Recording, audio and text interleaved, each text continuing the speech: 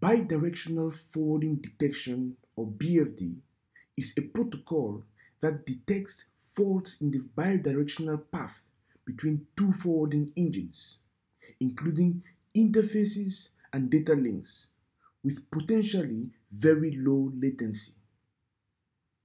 It operates independently of media, data protocols, and routing protocols. An increasingly important feature of networking equipment is the rapid detection of communication failures between adjacent systems in order to more quickly establish alternative paths. The detection can come fairly quickly in certain circumstances when the data link hardware comes into play. While some media, such as SONET, provide microsecond detection times, others, such as Ethernet, do not. Therefore, the need for a solution such as BFD. Network routing protocols traditionally have relied on relatively slow mechanisms to detect failures when there is no hardware signaling to help out. Traditionally, the underlying hardware signals are not understood by the various routing protocols. BFD provides a consistent failure detection method for network administrators.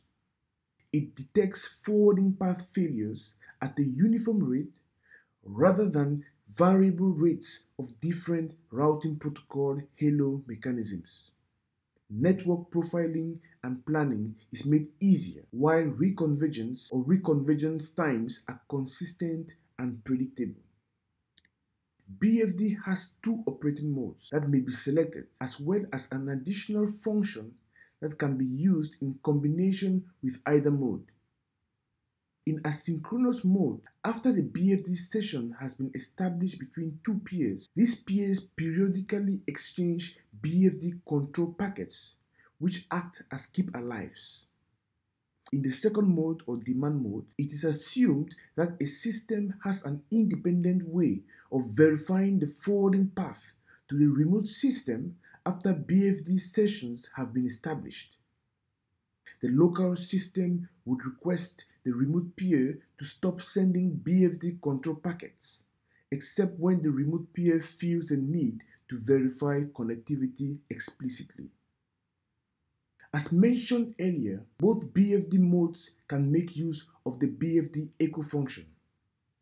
The BFD echo function detects connectivity of the forwarding link by looping back packets. In our example, router A supports BFD, but router B does not. Router B supports only the forwarding at the network layer. To rapidly detect forwarding failures between the two devices, the BFD echo function is enabled on router A. Router A sends an echo request packet to router B. Router B sends the echo request packet back along the same path to router A. Upon receiving the echo, router A is able to know that the forwarding link is up, otherwise it registers a faulted link to router B. Let's take a look at the BFD control packet format. The BFD control packet has a mandatory section and an optional authentication section. The format of the authentication section, if present, is dependent on the type of authentication in use. The version field specifies the version number. Per this RFC, that is RFC 5880, the default version is 1. The diagnostic field specifies the local system's reason for the last change in session state. This field allows the remote system to determine the reason that the previous session failed.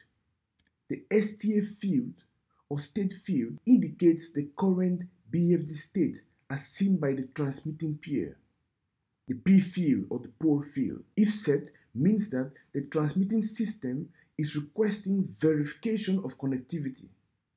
In response, it is expecting a packet with the final or F bit set.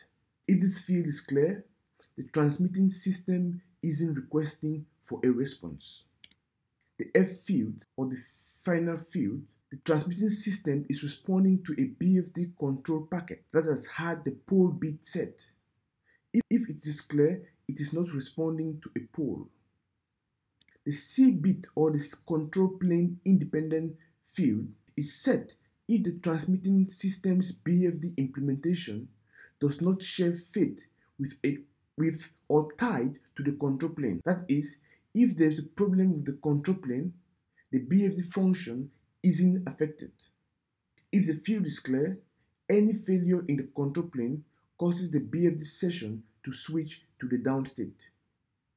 Now, if the authentication present field is set, it means that the authentication section is present in the BFD control packet and the session is to be authenticated. The demand field, if set, means the transmitting system wishes to operate in demand mode. It knows that the BFD session is up in both directions and it is instructing the remote system to see this transmission of BFD control packets. If clear, the system is operating in asynchronous mode. The detection multiplier field contains a value that is multiplied by the transmit interval to provide a time after which it is decided there is a fault in the forwarding path. When BFD control packets aren't received within this time interval, the forwarding path is found to be faulty. BFD then notifies its clients and they begin the reconvergence process. The desired minimum transmit interval is the minimum interval in microseconds that the local system would like to use when transmitting BFD control packets, while required minimum receive interval is the minimum interval between received BFD packets that this system is capable of supporting. Another very important interval is the required minimum echo receive interval. This is the minimum interval between received BFD echo packets that this system is capable of supporting. If this value is zero, the transmitting system does not support the receive of BFD echo packets. The final field, authentication type field. If the A field is set in the mandatory section, the authentication type field specifies the type of authentication in use. Now, BFD control packets are transmitted in UDP packets when used within an IPv4 or IPv6 packet. All the control packets used in a single session must be from the same source port. Your security policies should permit BFD control packets for the session to become established.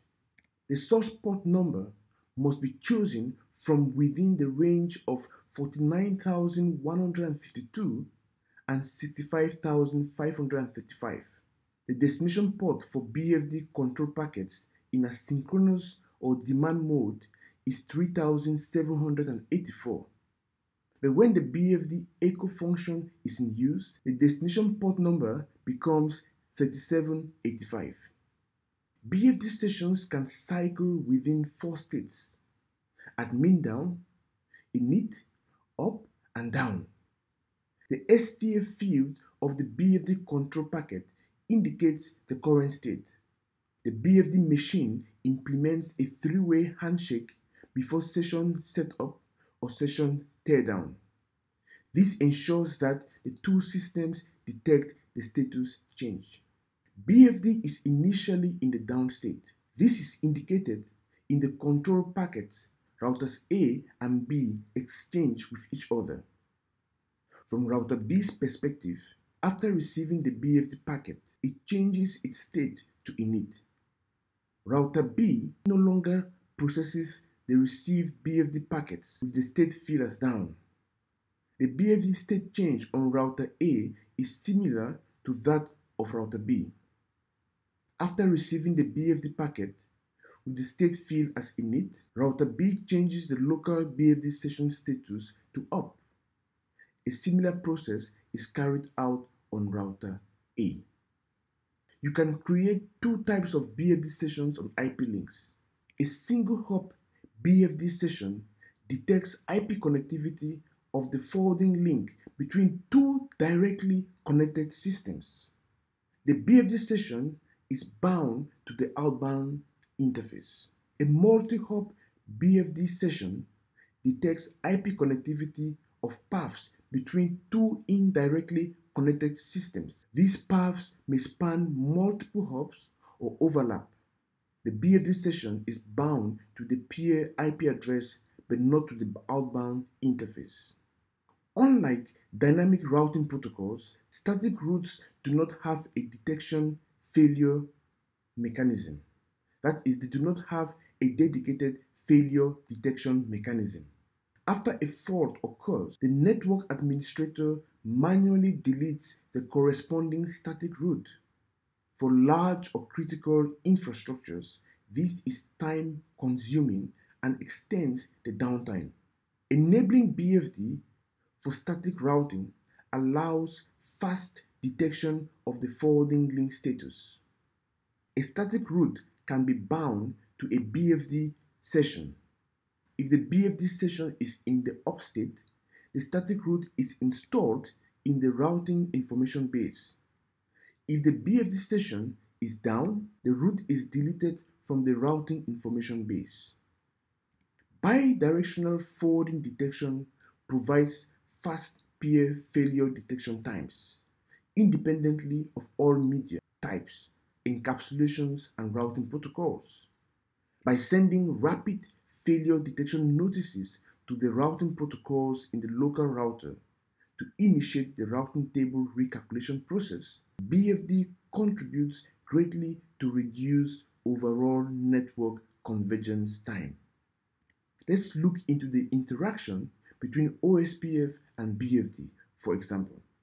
When OSPF discovers a neighbor, it sends a request to the local BFD process to initiate a BFD neighbor session with the OSPF neighbor router. The BFD session is established. What happens when a failure occurs? The BFD session is torn down. BFD notifies the local OSPF process that the BFD neighbor is no longer reachable. The local OSPF process tears down the OSPF neighbor relationship. If an alternative path is available, the routers will immediately start converging on it. This marks the end of our BFD course. In it, we have seen the role BFD plays in speeding up network convergence after the failure of a link.